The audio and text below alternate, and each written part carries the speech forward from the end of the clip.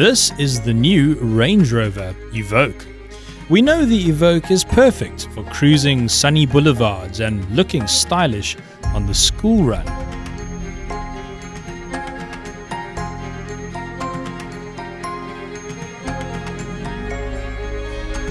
But even so, this Evoque is a bit special.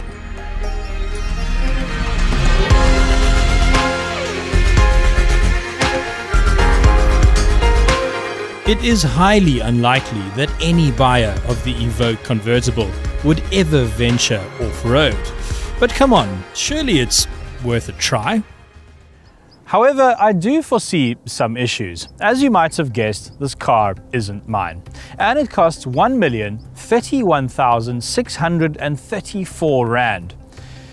Yeah, so I really don't want to break anything. And then there is this front bumper. It's very sporty, so it's very low, and that gives this car a rubbish approach angle. And then there are the tires, which are Continental cross contacts. Not too bad, but not ideal for off-roading. But I mean, it has a Land Rover badge on the front, so that means it can go off-road, right?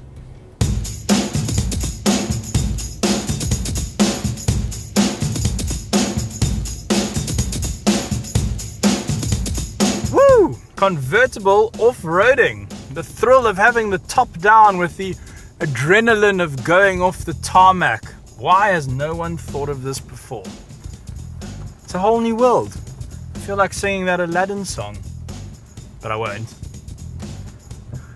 So when Range Rover announced that they were going to make a convertible version of the Evoque, I thought to myself, well, we have to take that off-road, obviously.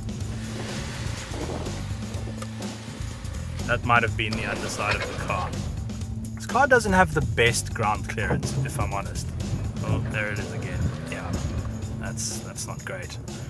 Okay, whoa, that's steep. Front bumper, please don't scratch. Yeah. Okay, this is a little bit more stressful than I anticipated. Uh, losing grip. And there we go, the power gets sent to the right place. So it kind of feels like you're getting stuck just for a moment while the system's working out the best place to send all your power. And then once it kicks in, it's fairly impressive. But the actual shape of this car was making things tricky.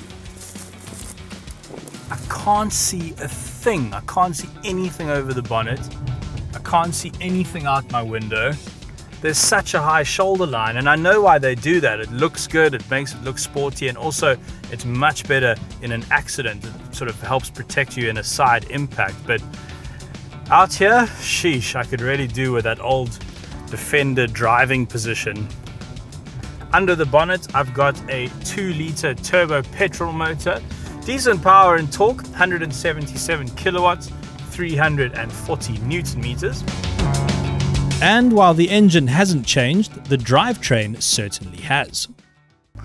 Up until 2014, Range Rover Evoques had a fairly traditional Haldex all-wheel drive system. But from 2014 onwards, Land Rover turned to a company called GKN, now, you've probably never heard of them, and I hadn't either, but they do a lot of work behind the scenes with car manufacturers.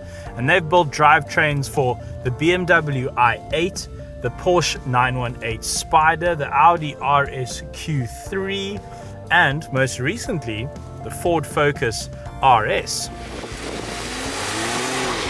In fact, the system in the RS is basically identical to the system that I've got in this Evoque. But out here, when you need all-wheel drive, the system kicks in and there are two clutches on the rear axle. And what that means is that the system can electronically control which wheel the power is going to. And it all happens really, really quickly. And they think it's more efficient and better than having a traditional rear diff.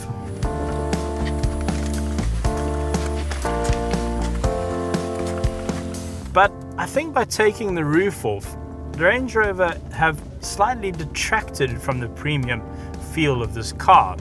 And that's because it's a little bit creakier than you would expect. It's a little bit noisier in here than a car with a roof. And what's particularly annoying me is this driver's door. It rubs up against the body panel where it meets the car, and it's just this kind of constant eh, eh, eh, squeak, squeak, squeak in my right ear. That would get annoying. But this new roof has created a few practicality issues. To convert the Evoque into a convertible, the Range Rover engineers really had to rethink the back of the car. And so the roof gets its own little compartment to fold into, and it doesn't affect the boot space. Then they had to design this quite odd little tailgate. And allow me to draw your attention to what I think is a bit of an issue with the Evoque convertible. It's not that the boot isn't deep. I mean, I can barely touch the back of it actually. And it's not that it isn't wide, but as you'll see with our standard cooler box test,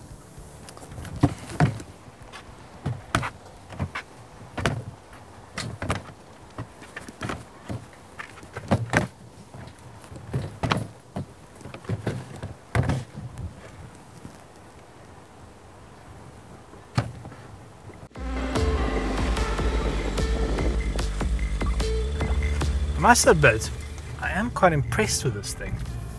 I mean, it's obviously not as good as a normal 4x4, you know, one with a roof, but it's not bad. So, what have we learned today? We've learned that if you drive really carefully and really gingerly, you can take an Evoque convertible off-road. But if I'm honest, you probably shouldn't.